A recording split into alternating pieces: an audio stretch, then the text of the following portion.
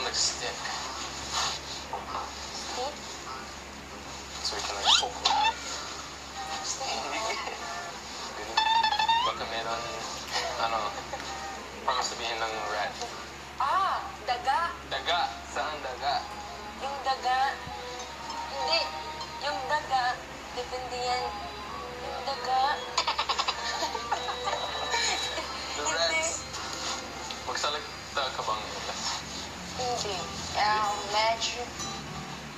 Medyo. lang po.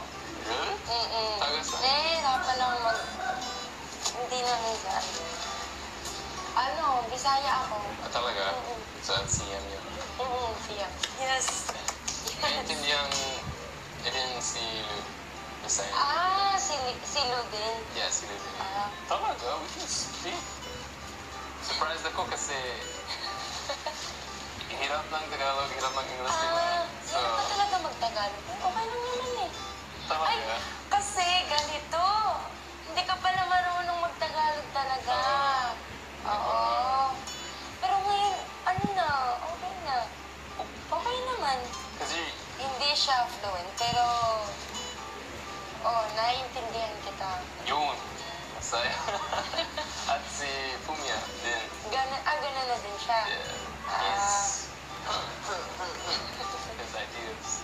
Sa pagkikita ng back-to-bahay housemates na sina Andre at Jelay, anong task na kaya ang kanilang haharapin may kinalaman sa isang refrigerator? Tutukan ang buong kwento mamayang gabi sa PBB 8. Nakakahook naman yan! Ano kaya ang mga pasok sa mga este? Pasok sa ref na task nitong sina Andre at Jelay kasama ang iba pang housemates. Abangan ang buong kwento mamayang gabi sa PBB 8. Yes, ang task na yan, Alex, kasing saya ng pagbisita mo sa Showtime para syempre salubungin ang isa sa mga pambato ng batch one and only na si Kauri. Yes, kaya naman ipasilip na natin hanggang sa nangyaring sa lubong natin kay Kauri dito sa harap ng bahay kani-kanina lang, panoorin natin lahat. Kanina sa It's Showtime, sinalubong naman ng people ang kawaii daughter ng Japan na si Kauri. Maraming maraming salamat po sa lahat po na sumusuporta sa akin mula umpisa hanggang ngayon. Asahan niyo po, kasama niyo po akong lalaban. At dito bahay, isang mainit na pagsalubong ang ating ibinigay sa kanyang pagbaback to bahay. Mga kapamilya, salubungin na natin siya mula sa batch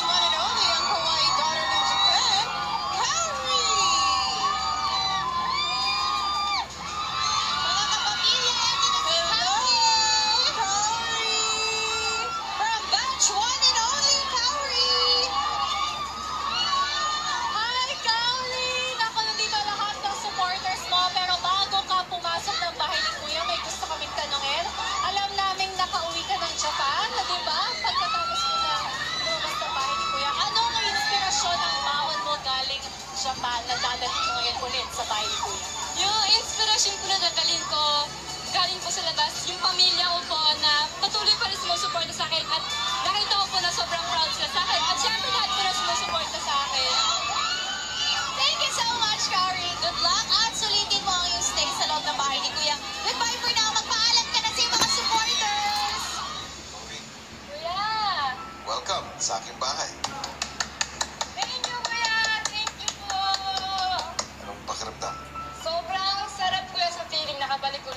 Sa bahay nyo bilang housemate ulit. Tapos, alam mo yun kuya, mas marami kami ngayon. So, feeling ko talagang mas masaya kuya. Tapos, siyempre, nakausap ulit kita kuya. Namiss ko yung boses mo kuya. Talaga? Wala, kuya naman. Huwag na po kayo magsalita. Gwapo po ng boses nyo. Charot lang po. Pero sobrang kuya, sobrang miss ko po. Sobrang thank you. Susunod, sasalubungin natin ang Adventurous Angel ng Australia, Ashley, sa pagbabalik ng PBB 8 Gold.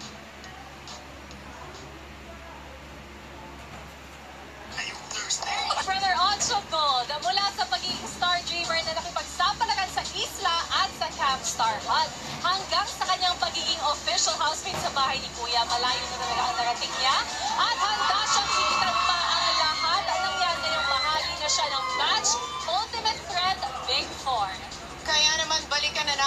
ang pinaka hindi malilimutang karanasan at tagumpay ng Adventurous Angel ng Australia na si Ashley.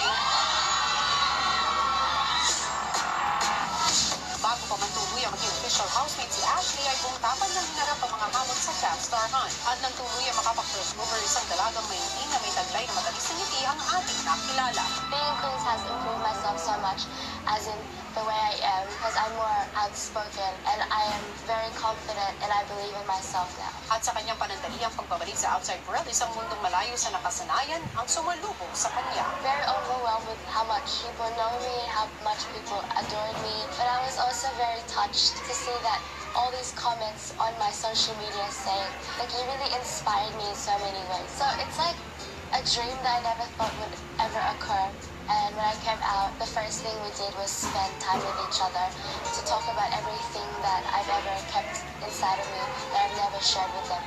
When I come back to the house, Tan's still with me. He's someone I rely on and someone I trust and someone that really motivates me to keep going. To have him with me in the house again would be such a great feeling because we're there for each other when we're down. At dahil sa buong suporta ng pamilya niya ay mas naglagablab ang puso ni Ashley sa pagbabalik niya sa loob ng bahay. They're happy for me that I'm in this position as one of the big fours. If you do your absolute best and my parents can see that, then they're to be proud of me no matter what. Braver and more fearless na ang abutin ng kanyang pangarap. Ako si Ashley, ang adventurous angel ng Australia.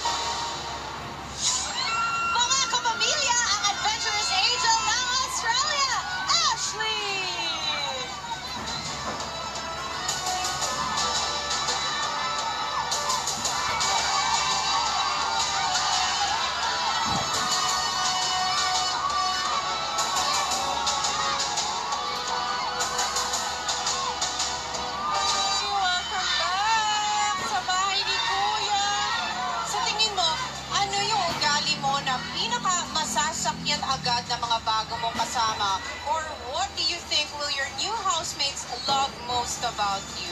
Uh, feeling ko po, I'm a very approachable person. So, you don't have to approach me because I won't judge where you come from or what you have to say. Oh, I'm sure you're very excited to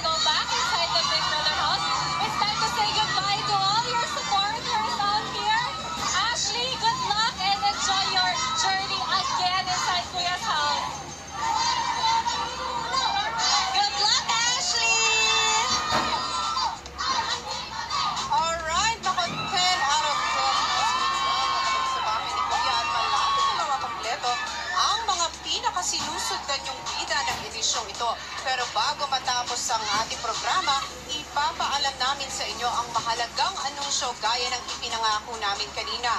Ito na nga kayo, mga kapamilya. Ang batch winners mula batch 1 hanggang batch 4 ay papangalanan na namin sa Sabado. Yes! Malalaman nyo na yan this weekend kaya tumutok pa rin kayo araw-araw sa PBB 8 at PBB 8 Go. Oh, ngayon pa lang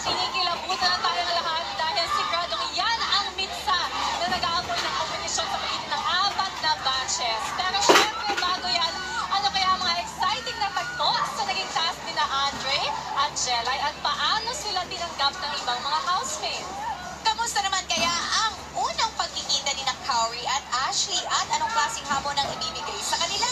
Maging suwak kaya ang kanilang tandem o maging